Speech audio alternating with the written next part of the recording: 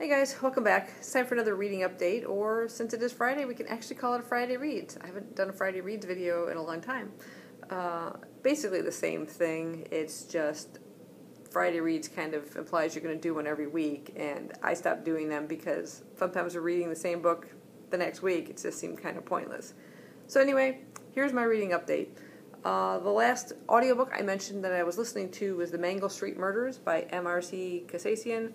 I haven't actually finished this. I would have. But unfortunately, I was uh, renting this out from the library and I didn't get a chance to finish it in time. So I was about 90% through when it expired. So now someone else has it on loan and I have to wait till they give it up. And hopefully, I'll be the next person to get it and I can finish the book. But um, it was really good. It has a Sherlockian Holmes kind of feel to it, um, but with a bit more of a cantankerous lead character playing the detective um, who has a false eye that keeps popping out. So there's a little bit of humor mixed into it as well, but it is a pretty uh, tight woven mystery, uh, and I'm enjoying it a lot. Uh, next up, I read some manga, uh, two series. I read two books in each of these. Uh, they're my favorite ones currently. I'm just really loving the artwork and the storylines of these.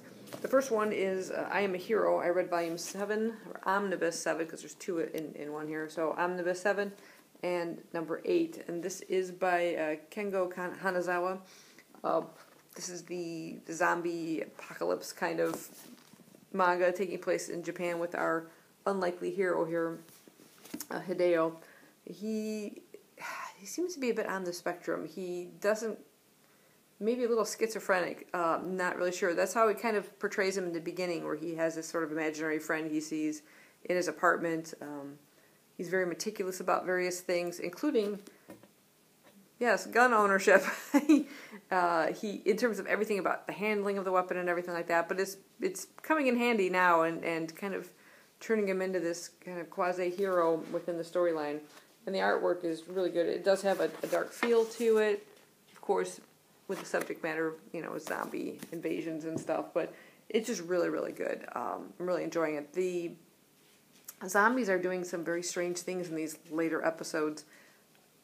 The seven episode seven, I wasn't too. Sh- I didn't love it as much. I mean, I've been giving this thing five stars across the board. This one was more of a four star one for me, uh, but then it does take another kind of twist that I wasn't expecting in Omnibus eight. Uh, they are doing some very strange things, these zombies, and you see a little twist of the point of view from the perspective of these zombies. Um, that I didn't expect, and it was very, very interesting. So, uh, really enjoying that. The next manga series I read from was Blue Exorcist. This is by Kazue Kato, and this is volume 20 and 21. I absolutely love the storyline within this and the artwork. I mean, look at the detail in this artwork, it's fantastic. Even within uh, the volumes, too. Um, show you some things that may not give away anything. really, really great. Um, this is Rin Okumura. He has a twin brother named Yukio. Together, we see their journey as they're training to be exorcists. Uh, they battle demons, basically. But Rin, as you can see, is a bit part demon himself. He is apparently the son of Satan. And uh, so he has some of that demon blood within him and that power too. And he is kind of trying to suppress that, but also use it in terms of when he's fighting and everything too. Um, just really great characters. These last two volumes were just over the top, just fantastic. The things that are happening within it. I love the artwork within the story, uh, within the book as well, not just the covers. Um, just really great detail. The characters are fantastic, and each book uh, gives you a synopsis of each of the characters and then a little bit of the um, the story so far at the beginning of each volume, which is really, really well done. I highly recommend this one. If I, if I had to say my all time favorite manga, I would have to say it's Blue Exorcist. Uh, moving on from there, the only thing else I've read is um, the the books in the Palliser series by Anthony Trollope. I had to backtrack and finish an earlier one, uh, volume three. No, sorry, volume two. This is um, Phineas Finn. Uh, that was, yeah, that was volume two. This is the second one in the Palliser series. First came uh, Can You Forgive Her, then Phineas Finn. I had already finished the Eustace Diamonds. I had to stop this one because the read along that I was following with uh, had already finished this one, and I was quite a bit behind, and you can kind of read them individually, uh, with the exception of this one because there's a direct um, sequel to this one within this series as well. But Phineas Finn is sort of a young Irishman, a very good looking man who's kind of at the beginning studying law, but then is kind of convinced to try uh, for a seat in the English House of Parliament, and he does succeed in um, sitting for a, a borough. And his his political career takes off a little bit of a jumpy start. He's a little nervous. Um, the thought of speaking before the House, his first speech, doesn't really go over well.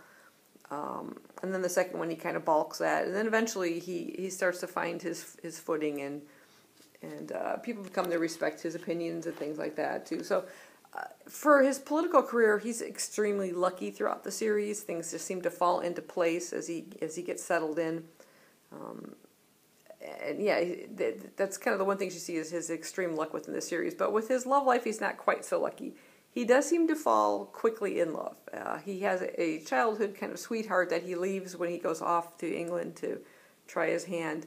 Um, there seems to be a kind of unspoken promise between the two of them, but off he goes, and then he falls for um, Lady Laura, and that doesn't work out. He falls for another woman. It seems he, shortly after proposing to her and, and having that fail, he seems to fall for another woman.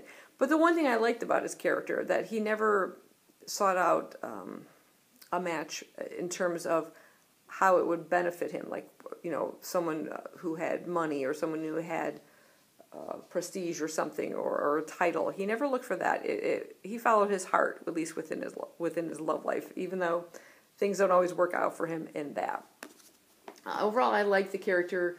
The book itself, uh, I, I'm, I'm really enjoying Anthony Trollope's writing. It's very accessible for a classic. It doesn't feel bogged down by language or anything like that. His characters are very well developed, and we see characters um, within each of these books kind of carrying over uh, from volume to volume. And it's, it's, it's, nice kind of revisiting them, like uh, Lady Glencora, uh, who, we, who we saw a lot of in the first volume, um, pokes her head in within here as well. Uh, we meet a, a Max Goesler, who we'll see in, in subsequent volumes, including the direct sequel to this one, which I'll mention in a minute. Um, and yeah, I, I overall liked the character. It's just this of of this particular series, which is sort of a political series. This is like the most political uh, of the books, including again its direct sequel because we're dealing with a, a member of parliament, a young junior member. Um, those aspects of the book I did find quite quite tedious, kind of boring, and I just kind of made me slow down. So that's kind of why I fell behind also with the with the read along. Um, but in the end, I really enjoyed it. Like I said, um, it was enjoying to see the growth of this character and the progression of him, and and sort of the other characters as well, their their storylines and how things don't quite work out for them, and, and um, especially Lady Laura, I, I, I enjoyed her storyline as well.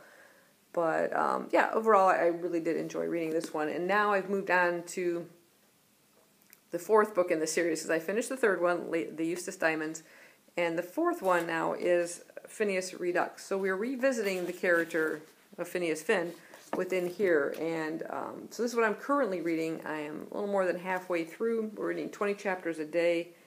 And uh, yeah, we're seeing kind of what's happened with our main character. Um, he has made some changes in his political life. The interesting thing about this is there's there's more to it than just the political aspects of it, although we are getting a lot more of that as well. And those are the parts that really just grind my reading, you know, to standstill. It's just okay. Let's move on. Get back to the characters and their love lives or whatever. You know, I want to find out more about that. Uh, but this one, uh, which I'm not giving away anything away spoiler wise, but in the background, in the back in the back of the book, it does mention uh, that there um, is a murder and uh, our main character falls under suspicion. So yes, now we suddenly, and I've just literally reached that part so now I have a murder mystery uh, in the background of this, which is really kind of intriguing. I can't wait to see who who the murderer is. Uh, I severely doubt it's our main character. He just doesn't seem that type. Uh, but yeah, it's adding another interesting aspect to the book, so I'm really enjoying that. So basically, that's all I have right now. Um, the only audio thing I have right now is Deadwater, Deadwater Bride. It was one of those freebies that are uh, offer to members on, on Audible.com. You get like two free uh, Audible originals. Uh, it's sort of a kind of like a radio drama in a way, but it is a, a murder mystery police procedural slash paranormal kind of thing going on. It's it's a little bit of everything. The it's very well voice acted.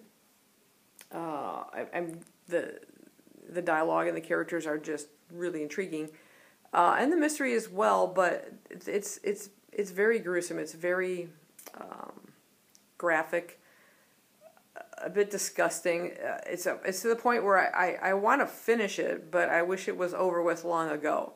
So I don't know. Uh, I wouldn't I wouldn't necessarily recommend it um, to the faint of heart. Um, like I said, it is like it's very graphic and sexual and a bit disgusting at times. Um, with they didn't need to go into such graphic detail about things. Um, but I want I want a solution to it. I want to see how it's going to end. So I'm going to continue listening to it, uh, and hopefully, um, the audio that uh, the Audible book that I was listening to prior will be available again at the library soon because I want to conclude that one. But anyway, that's what I'm um, reading and listening to so far. So I'm just currently picking up the one physical volume here. Um, not involved in any other book right now. Although I feel like an urge to read something else, but this does occupy a lot of my time, so it's it's difficult to warrant stopping that to pick up another book when I'm trying to keep up with a read along. So, anyway, what are you guys reading? Uh, hopefully, you're reading something a little more lighthearted, uh, enjoyable. Let me know down below, and I will see you guys next time. Bye bye.